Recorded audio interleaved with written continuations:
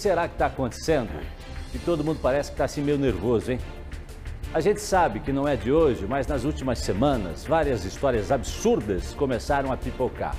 São brigas entre vizinhos que descambam para a violência e terminam até em morte.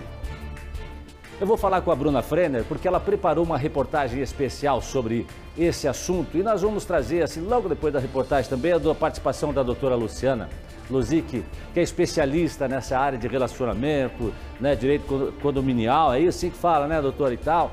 Enfim, e a gente vai discutir um pouco mais desse assunto aqui. Como é que está a relação sua com o seu vizinho? E aí, o seu vizinho de, de, de, de, porta, de apartamento, de casa, condomínio? Nós vamos falar disso, bichos, animais, inclusive na reportagem da Bruna tem muito disso, né, Bruna? Boa tarde mais uma vez.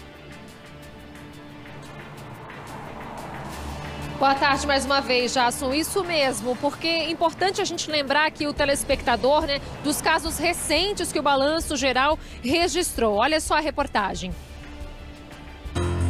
Sandro Ferreira Moraes, 34 anos. Ele faleceu na última sexta-feira no Hospital São José, em São José dos Pinhais.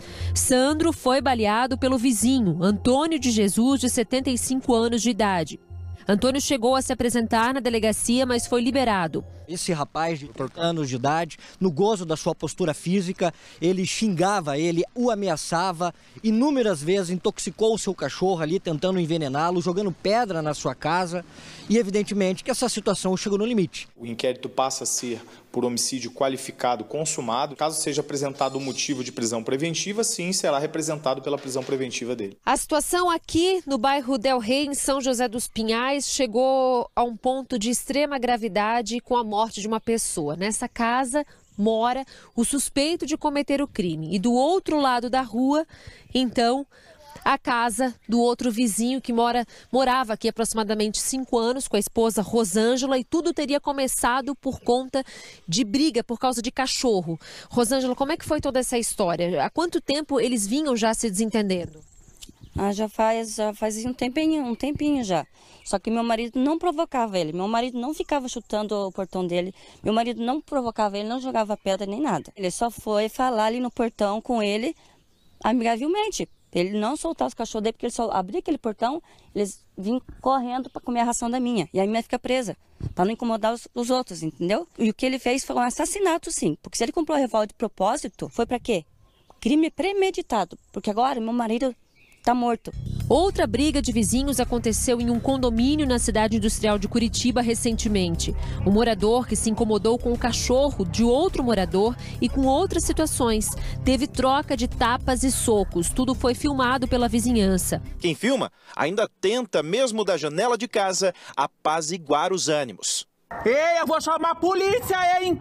Logo depois disso, aparece outro homem que tenta defender o idoso e que também se envolve na briga. A confusão aconteceu neste condomínio na cidade industrial, envolvendo três moradores, pai e filho, que moram em apartamentos diferentes, e um outro vizinho. Mas o que chama a atenção é o motivo da briga. O cachorro ele sai sem a coleira do condomínio e o vizinho ele se incomoda com o latido, ele se incomoda, ele, segundo ele, o cachorro faz as necessidades e nós não limpamos, que não é verdade. Nós conversamos com um dos homens que aparece nessas imagens. Eu conversei com um homem então que está de terno, que a gente percebe que ele parte em determinado momento, ele parte para cima desse idoso. Ele disse que toda essa confusão começou já há dois anos e que a justificativa não seria apenas a questão do cachorro. Olha só o que ele me disse. Eu tentei resolver com o síndico, eu tentei resolver é, direto com eles, conversando, mas cada vez que ia conversar era xingamento, era humilhação.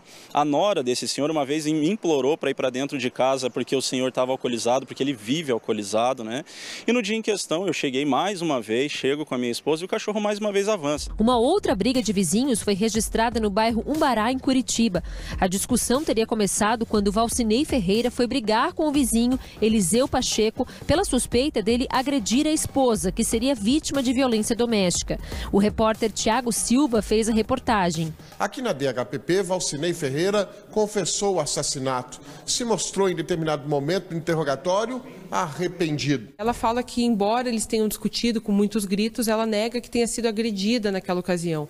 E ela diz, então, que o autor, que é vizinho, acabou intervindo na discussão, né, se metendo na discussão, e nisso a discussão migrou, né, parou de ser uma discussão entre a esposa e a vítima e começou, então, a ser uma discussão entre a vítima e o autor. Como é que vocês vão resolver? Queira ou não queira, vocês vivem ali, tem que ter uma convivência harmônica, né? Sim, da minha parte, é, eu vou continuar vivendo como eu sempre vivi. Eu sou de casa para o trabalho, trabalho para casa, vou para minha igreja. É, eu quero viver minha vida como eu sempre vivi. Como é que está sendo encarar todo esse momento agora sem o marido, sendo que é uma discussão que podia ter sido resolvida com uma conversa, de outra maneira? Ah, tá difícil, né? Que a gente se amava muito.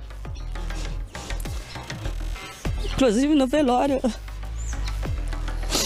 No, no velório sábado. Ele estava fazendo 34 anos. Seria o aniversário dele? No sábado, nós estava programando de fazer alguma coisa ainda, sabe? Pra mim, tudo que me lembra ele, tudo. É uma situação realmente muito complicada, difícil, né? Esses relacionamentos de vizinhos. Ô Bruna, o seu Antônio, ele já tinha conversado com a polícia no caso do, da, da morte do Sandro e ah, naquele momento ele ainda estava hospitalizado. Agora o, o Sandro morreu. O senhor Antônio deve voltar à polícia? Como é que ficou? Isso, já a sua informação que nós temos é de que no dia 21, então, o seu Antônio será ouvido pela polícia para prestar todo o esclarecimento aí em relação a esse homicídio.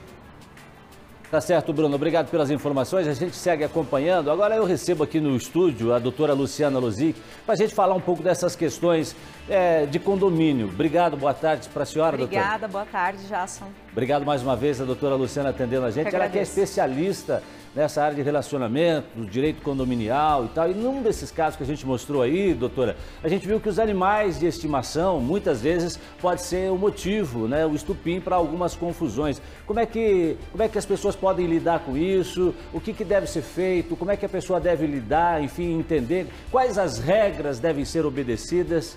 Perfeito.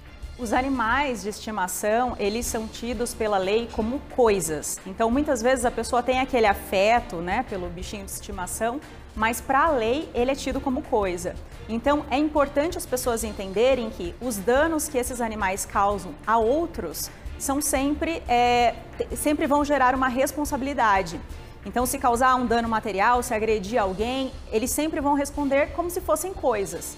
Então, é importante entender, por exemplo, que esses animais eles precisam, pela lei, saírem na rua, da porta para fora de casa, com coleira, guia e até algumas raças, as raças mais violentas, eles determinam que usem focinheiras. Isso está tá na regra, isso está na lei? Isso está na lei, sim, está na lei. Principalmente aqui em Curitiba. É comum a, a, é comum a todos os condomínios. Comum a todos os condomínios, porém, cada condomínio pode legislar dentro do seu regimento interno quanto a essas leis. Há leis que se sobrepõem às normas internas, que são normas feitas pela coletividade, por exemplo, de um condomínio, mas eles podem legislar, né? Esses animais têm alguns direitos dentro do, do condomínio, né? Que são dos proprietários.